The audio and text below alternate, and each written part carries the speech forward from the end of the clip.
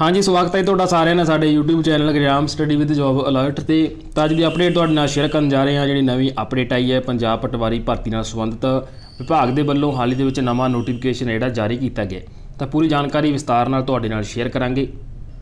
ਤਾਂ ਇਹ ਜੋ ਨੋਟੀਫਿਕੇਸ਼ਨ ਅਧੀਨ ਸੇਵਾਵਾਂ ਚੋਣ ਬੋਰਡ ਪੰਜਾਬ ਦੇ ਵੱਲੋਂ ਜਿਹੜਾ ਜਾਰੀ ਕੀਤਾ ਗਿਆ ਤਾਂ ਇਸ਼ਤਿਹਾਰ ਨੰਬਰ 2 ਆਫ 2023 ਰਾਹੀਂ ਪ੍ਰਕਾਸ਼ਿਤ ਮਾਲ ਤੇ ਪੁਨਰ ਵਿਭਾਗ ਪੰਜਾਬ ਦੀਆਂ ਮਾਲ ਪਟਵਾਰੀ ਦੀਆਂ ਅਸਾਮੀਆਂ ਲਈ sports general sports SC M ਅਤੇ ਬੀ, ਸਪੋਰਟਸ ਐਸਸੀ ਆਰ ਅਤੇ ਓ।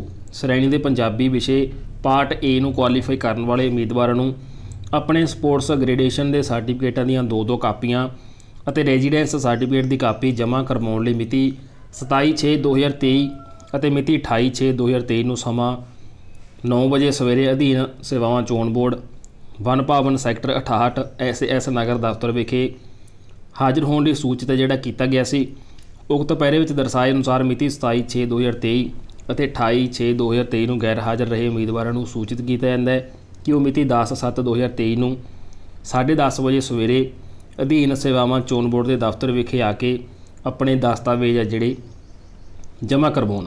ਸੋ ਇਹ ਉਮੀਦਵਾਰਾਂ ਨੂੰ ਵਿਭਾਗ ਦੇ ਵੱਲੋਂ ਲਾਸਟ ਆਪਾਂ ਨੋਟੀਫਿਕੇਸ਼ਨ ਕਹਿ ਸਕਦੇ ਹਾਂ।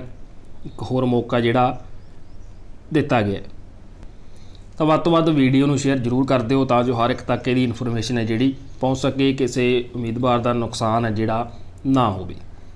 ਧੰਨਵਾਦ ਜੀ।